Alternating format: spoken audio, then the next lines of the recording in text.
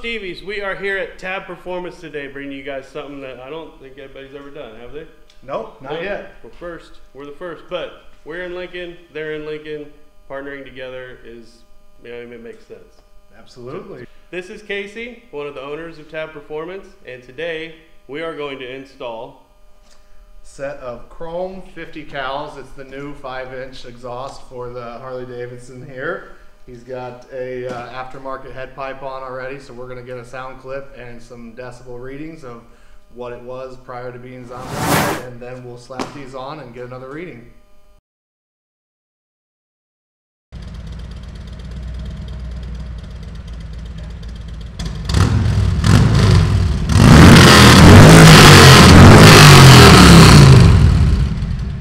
Can I clip this to your shirt? Absolutely. Just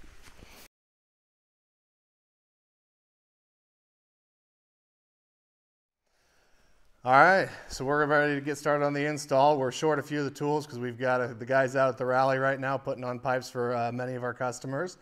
But uh, this is uh, a very special deal just for Stevy here because we've got, uh, we, we like to support our, our local dealers and we don't do installs for customers. We don't have a, a retail, so you can go to any one of our fine dealers and have your tab exhaust put on there. Or you can meet us at one of the rallies and we install products at all the rallies as well. So we're gonna get started. We'll get the bags off here and then we'll start ripping off the old exhaust. All right, so if you're getting ready to do this at home, you've got a 15 for the right, a uh, half inch for your hanger bolts, and a 9 16 for the left-hand side. That is normal. The right side's gonna be larger, so don't let that alarm you on the M8s. That is a new thing they started doing in 2017. Uh, we're gonna put some gloves on, be careful, make sure it's not hot, and we'll uh, get these yanked off of here.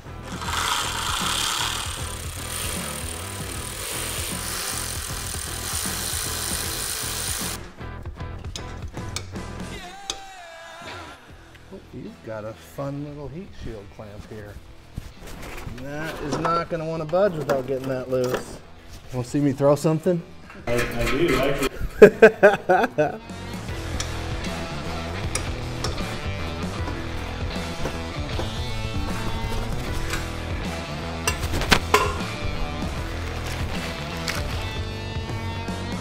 right, there she is. That's what's going to be going on here.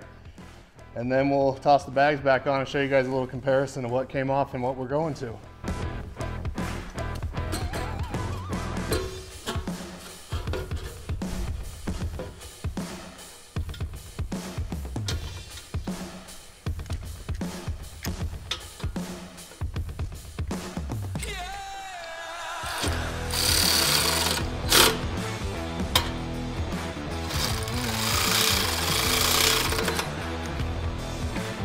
Much easier to do with a lift when they're not all currently in use. When you line up a pipe at the end, is there anything that you go off of? It depends because you've got um, what you're going to find is when, especially when you mix and match manufacturers, we have heat shields from Vance and Hines that are used to setting up with their pipe. Um, so you are going to have to do a little more, you know, moving stuff around, sliding it. This was about a quarter inch back this way, which then wouldn't have allowed us far enough onto the head pipe to get the mufflers back far enough. So you, you know, when you're working with one thing straight through, it's a little more smooth. When you do have mix and matching, you can usually make it work. But again, uh, we've got some Legend suspension, which is a really nice one, but with a fatter pipe, we just have to kind of make sure everything works. You know, any manufacturer is going to design their part to work with Harley stock product. So without anything, the install is always more simple. When you start mixing and matching different things, then you can run into some stack up things where you might have to loosen bolts, shift, tighten them down, and just kind of everything has a little bit of play. And so sometimes you just kind of have to work your way back. So when you're lining it up, um, sometimes you have a little more adjustability, and sometimes by the time you stack everything up, they kind of are where they are. And then we'll just put the bags on, we'll measure and make sure that they're even and they look good and they're straight, and then we're done. So right now you can see a little left to right. When you tighten this bracket down, too. I'll usually do that last, and then I'll kind of get them to a spot I like, and then tighten them down. That way they center underneath that bag where we want them. So, just a little tip.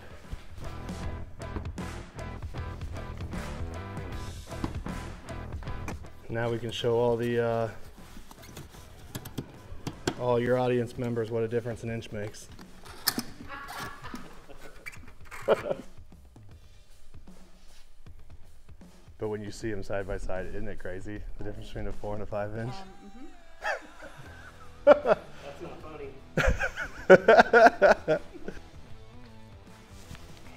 they look so dumb.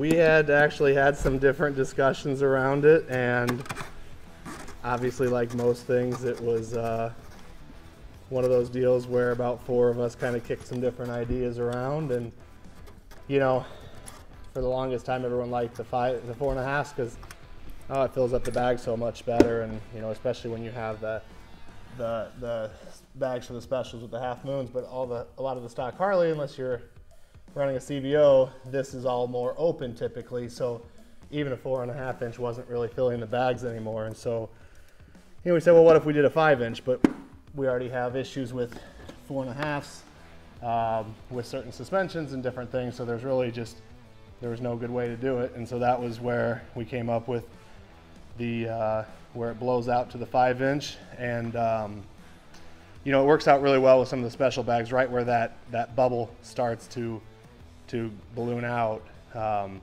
is where those bags drop. So it really kind of looks pretty natural on there when you're when you're all said and done.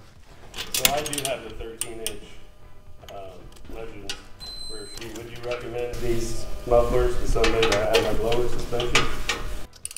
You know, it really kind of depends. And honestly, the worst thing that can happen is that if you've got clearance like this, you know, if you don't have the appropriate rebound or whatever, your the nut or the axle nut could hit your pipe. And over time it might wear a little depression or a dimple. It's not gonna do any damage. It's not, you know, we've had customers run ours or other brands for thousands of miles and then we'll we'll go to do an install and you just see a little dimple or depression and I think a lot of people over worry that oh my gosh it's gonna scratch through and then the whole thing is gonna rust out and it's you know like it's really not as big of an issue as, I mean, obviously you don't want it to where it's gonna cause issues or a safety issue, but with, with hitting on your suspension, but a little rubbing isn't gonna hurt anything. How long have you had these on there? Says I bought it. Yep.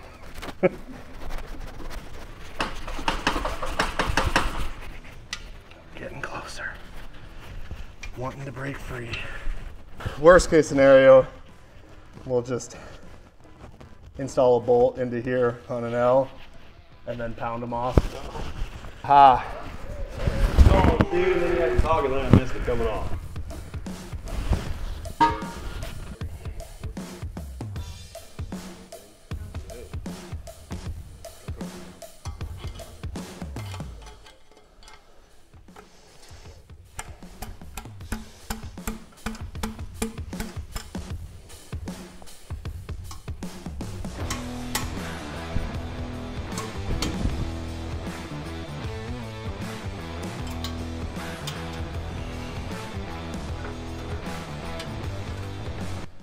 And it goes on just that easy. You're welcome. Isn't it crazy? That's what a new non-clamp pipe looks like. So are you guys going to start making more exhaust for Softails anytime soon? You know, probably not outside of what we already have. Um, so we already have, of course, the the slip-ons, but uh, as far as doing a full system or anything, it probably is in line behind the chrome bars that we need to launch. So we just launched the Folsom series uh, prison bars in black, and then we'll be launching the same thing in Chrome, and then making the ones for the Indian and the on the Challenger and the Chieftain, and uh, both of those. So You want me to leave that out, that you're making them for the Indians? Oh, that's fine. You are the owner, so I guess it really doesn't matter. It's on you at this point. That's true. Whatever I said, if it gets on there, I guess I got to live with, huh? Not necessarily, but that's what I'm gonna tell you. How does that look to you as far as I'm gonna let you be the professional and tell you? Okay, fair enough. I probably ought to at least look semi professional.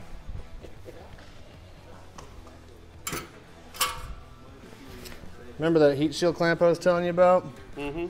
Yeah, I tried to cheat and go around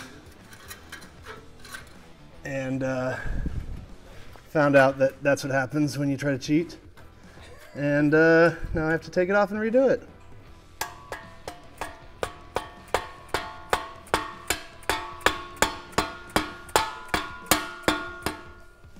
So you guys have two different head pipes that you offer too? Yes, we do. Yep. And there's one that you can use the stock heat shield. Yep, there's a, a two into one into two that works really well. Um, those are our most cost-effective heat uh, header, and reuses the stock shields, the stock cross under, and performs as good as any header out there. Um, and then there's the the two into two, which is something more similar to to this pipe here, where comes with the full cross under replacement, the the shields.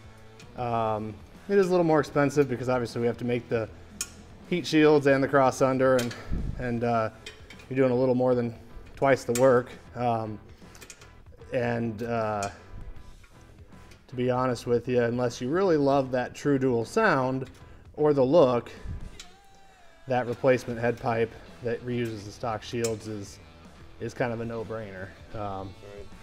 But there's something to be said for wanting it not to look stock too, right? So nothing wrong with either option. Um, just depending on what your goals are and what your reason for wanting to change is. there are some people out there that think stock is dumb. Correct. And nothing wrong with that. Our business sort of uh, depends on that, I guess.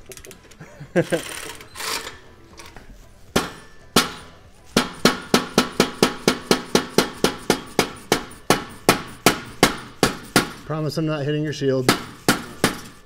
When in doubt, beat it.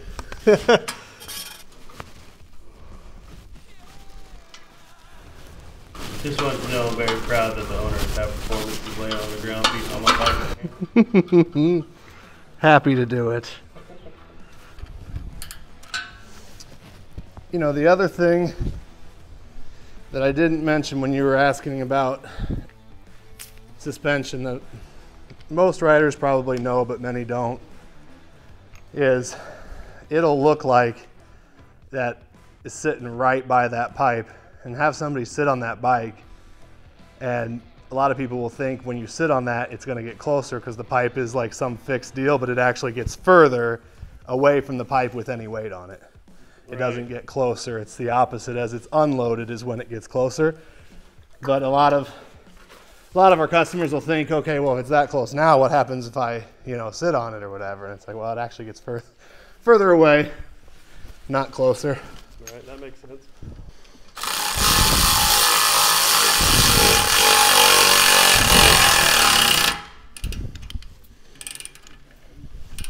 And you are good to go. So the one last thing, never put on anything for slip-ons, headers, anything that's gonna get hot without wiping it down and cleaning it first or you will burn those fingerprints into it and you will regret it for hours. So let's do that quick.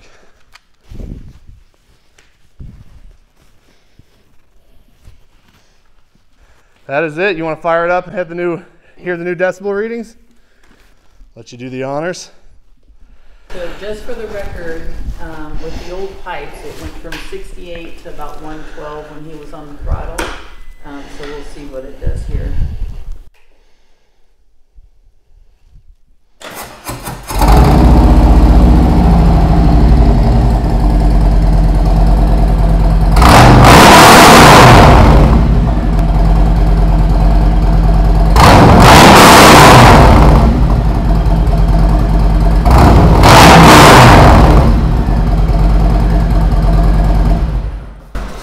So we're at about 89.90 at idle and about 111 and a half on the throttle.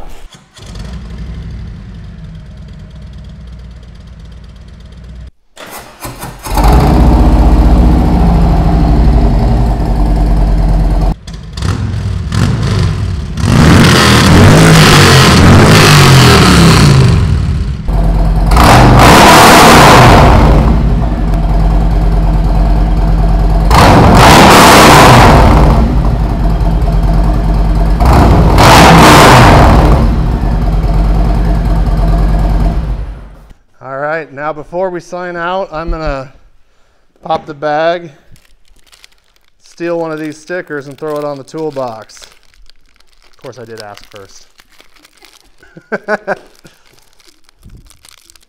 Cheapest exhaust install you'll ever have.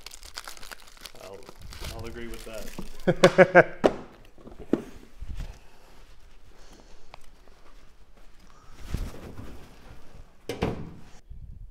There we go. Dust off a nice spot for Stevy Faux.